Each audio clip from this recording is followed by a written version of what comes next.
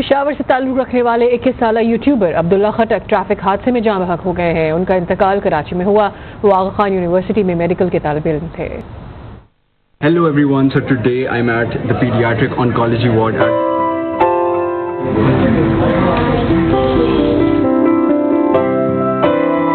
कैसी आप फातिमा ठीक हो? आपको क्या पसंद है? टॉयज में क्या पसंद है खिलौनों में?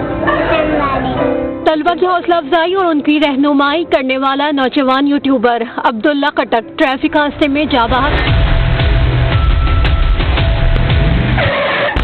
इक्कीस साल यूट्यूबर का ताल्लुक पिशावर से था। वो तीन साल कबल तालीम के लिए कराची मुंतकिल हुए थे। अब्दुल्ला आगा खान यूनिवर्सिटी में मेडिकल के तालब इम थे।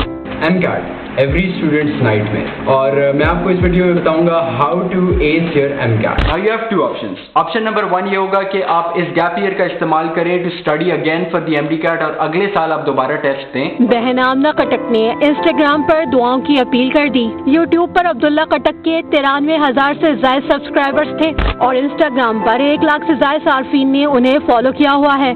अब्दुल्ला के इंतकाल की खबर पर सोशल मीडिया सार्फिन इजहार अफसोस कर रहे हैं।